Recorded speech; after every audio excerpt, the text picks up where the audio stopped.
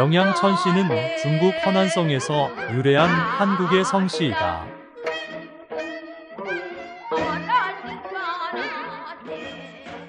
시조는 천암이다.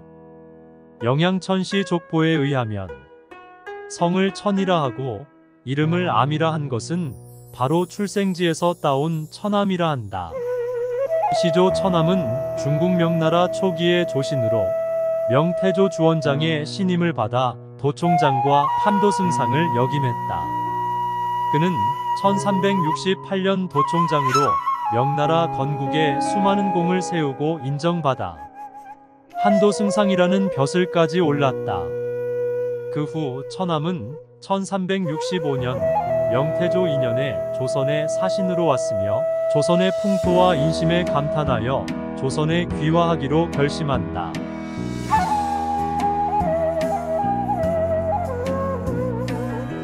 본관은 영양이니 공이 관직에서 물러나 낙향하여 정착하였는데 그곳이 현재의 하남성 등봉현 영양진이다. 등봉현 영양진은 고대 중국의 왕도였던 낙양과 정주와 숭산에 위치한 곳으로 자연환경과 풍수지리상 명당이라 불리는 가장 오랜 역사와 전통을 자랑하는 유서 깊은 곳이기도 하다. 천만리는 판도승상 천암의 고세손이다. 명왕조 교관을 지낸 부친 천종학과 어머니 전씨 사이에서 태어났다. 그가 태어나기 전에 모친 전씨가 태몽을 꿨는데 산스님이 내려와 멀리 떠나서 살아갈 운명이니 그 이름을 말리라 지었다 한다.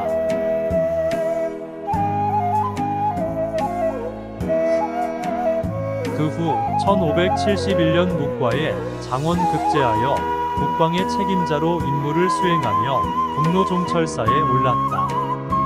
그러던 중 13만 대군의 몽고군이 침입한 것이다. 그러자 3천여 명의 병력으로 몽고군을 섬멸하여 큰 공을 세운다.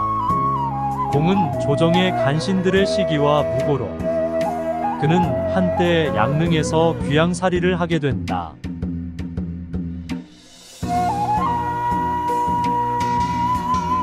그 후 귀양에서 풀려나 황제의 지시로 복귀하고 그가 황제에 거취하는 태정전에서 재직한 지 1592년에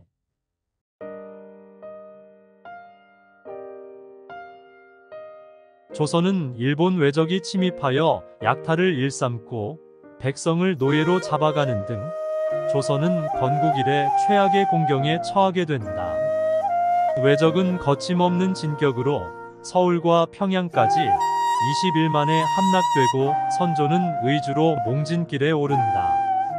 선조는 몽진길에 이덕형을 명나라 사신을 보내 구원을 요청한다. 그때 명나라에서 천만리와 이덕형이 만남이 이루어지고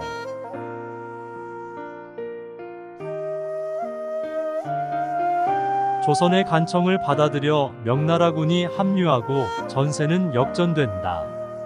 사암 천만리는 절제절명의 위기에 빠진 조선을 구하고 큰 공을 세우게 된다.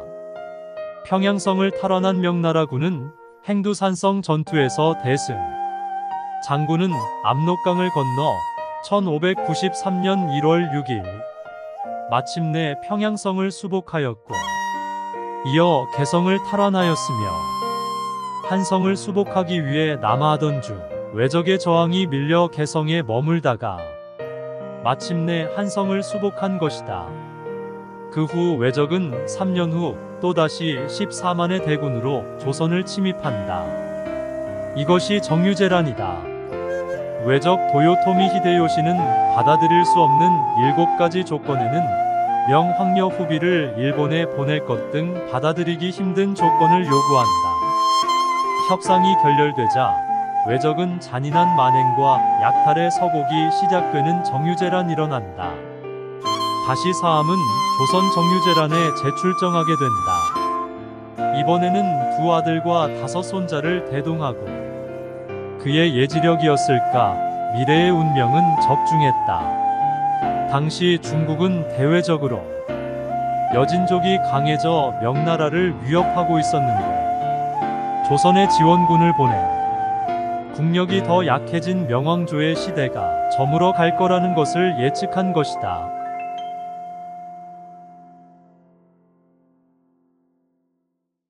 정유재라는 조선 각지에서 의병과 이순신 장군이 왜군을 물리쳤고 육상에서는 천만리 장군의 활약으로 왜군을 물리쳤다.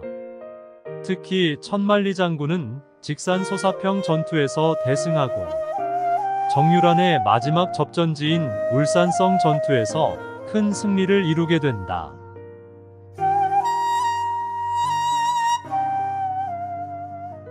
자성대 진남대 옆에는 총독장 하성군. 천만리의 공을 잊지 않기 위해 후손들이 세워놓은 비가 세워져 있다.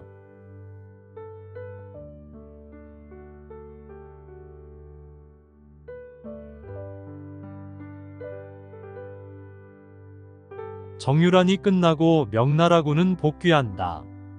장군은 명나라에 돌아가지 않고 남아 조선의 영양천시에 새로운 역사를 쓰게 된 것이다. 조선에 남아있던 사암천만리는 임란공신 1등 정의품, 자원대부 봉조아와 화산군의 봉하였다.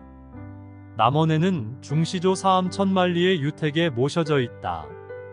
우리나라의 영양천시는 구세조이신 사암 충장공 천만리 장군을 중시조로 모시고 400년의 종사가 이어져 가고 있다.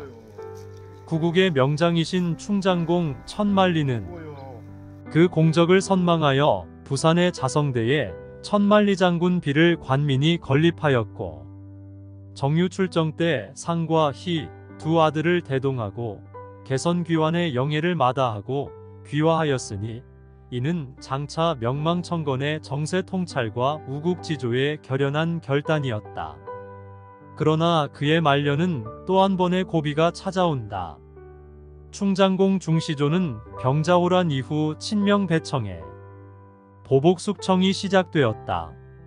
그는 박해를 피해 음둔 고초를 겪었던 암흑기의 종사로 이어져야만 했던 역사를 겪어야 했다.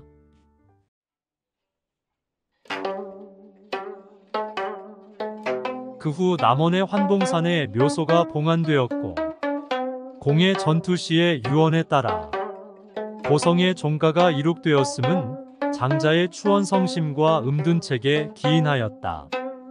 천시의 역사는 임진난에서 비롯됨으로써 우리나라 근대 순환사와 궤적을 함께하며 성족의 면모들이 날로 부각되어 온다.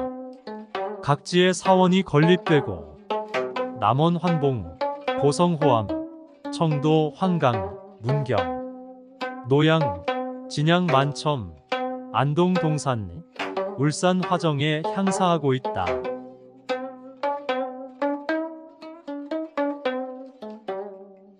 조선조 때 화산군 충장공 등 나라의 은전과 시해를 입었음에도 이를 누린 바가 없이 오히려 박해를 당했으나 오늘의 성적으로 면모가 돋보이게 됨은 혈맥 속에 깃든 조상의 고고한 지조와 자긍심의 소산이리라.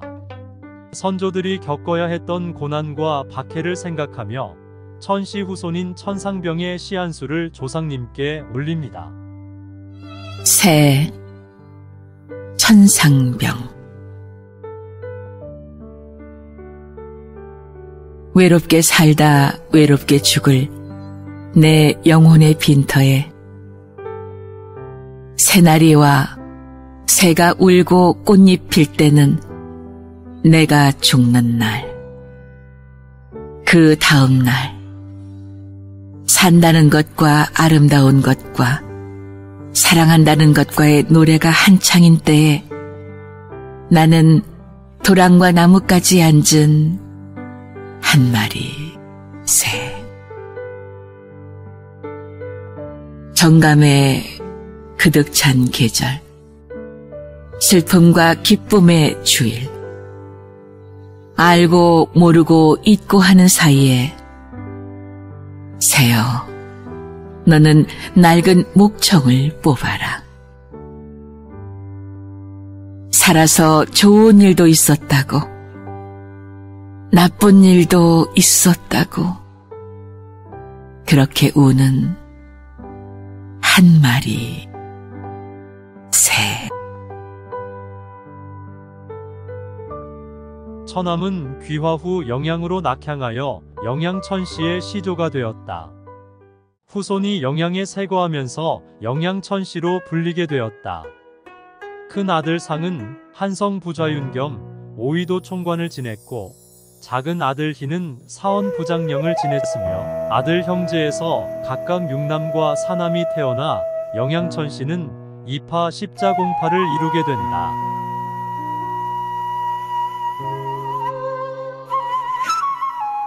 공파 불리는 손자 때에 상의 후손인 태지는 처사공파의 파조가 됐고 경주는 선전공파, 태주는 정랑공파, 태지는 통덜랑공파, 태석은 통덕랑공파, 태종은 송암공파의 파조가 됐다. 희의 후손인 문주는 영장공파, 거주는 군수공파, 자주는 현감공파, 장주는 감역공파의 파조가 됐다.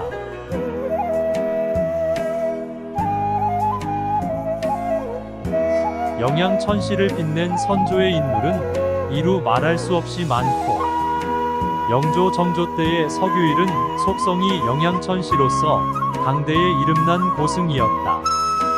대둔사 12인의 한 분이었으며 만년에는 강석을 옮길 때마다 무려 100명의 제자들이 항상 그를 따랐다 한다. 실학파의 이충익, 정약용, 김정선 등 당대의 명사들이 그를 위해 지은 비문과 제기 등이 조선 불교 통사에 기록되어 있다. 그 중에서 사집수기 등 일부가 전해진다.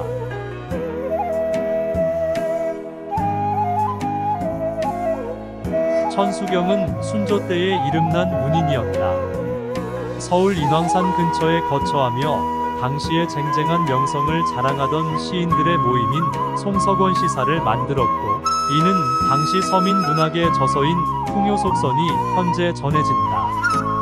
독립투사로는 이강봉의 좌익장으로 천보락을 고종 때 외부주사를 지내고 도미하여 안창호와 함께 독립운동을 벌이고 상해임정에도 참여한 천세헌 1919년 블라디보스톡에서 강우규 등과 노인혁단을 조직하여 그 창립 간부로 활약한 천수점이 빛난다. 610만세 운동과 일제말기 신사 참배 거부 등으로 네 차례나 옥고를 치른 9일 서울 신학교를 창설한 천세광 목사가 있다. 또한 사람의 영양천씨의 인물 천상병의 시인이 있다. 귀천 천상병.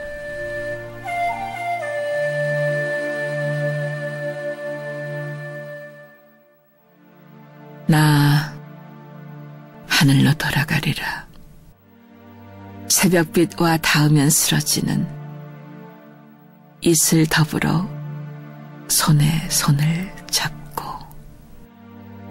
나 하늘로 돌아가리라. 노을빛 함께 단 둘이서 기슭에서 놀다가 구름 손짓하면은 귀천을 비롯한 여러 명시를 남긴 현대 문학계의 거성 천상병은 순수한 마음의 인생 노래하는 시를 남겼다.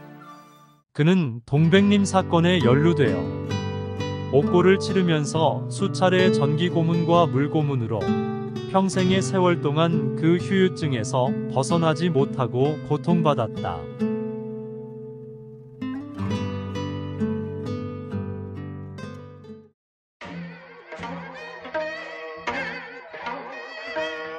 통계청 자료에 의하면 우리나라 성씨 본관은 286개 성씨와 479개 본관으로 집계됐다. 이 가운데 천씨는 해외를 비롯하여 북한 거주 종친을 포함한다면 약 15만 명이 넘을 것으로 추산된다. 인구 순으로는 천시가 54위이다. 우리나라의 천시는 영양천시, 경주천시, 고성천시, 광주천시, 김해천시, 나주천시, 남양천시, 남원천시, 단양천시, 목천천시로 총 46개 본관의 인구조사에서는 10만 3천 명으로 문헌에는 천시의 본관은 영양천시 단본이라고 한다. 후손들은 경남 동해면 장좌리 호암서원에서 매년 음력 8월 1일 천시 묘역에 시제를 지낸다. 영양천시는 조선시대부터 오늘날까지 많은 인재를 배출한 명문가이다. 이들은 정치, 경제, 사회, 문화 등 각 분야에서 활동하며 대한민국의 발전에 기여해왔다.